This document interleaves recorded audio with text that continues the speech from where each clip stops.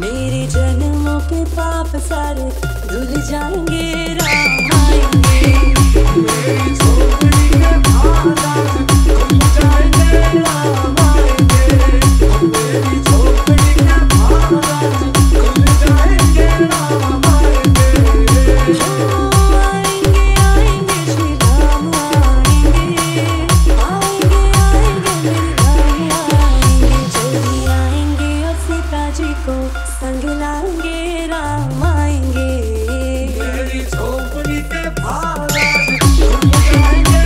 you.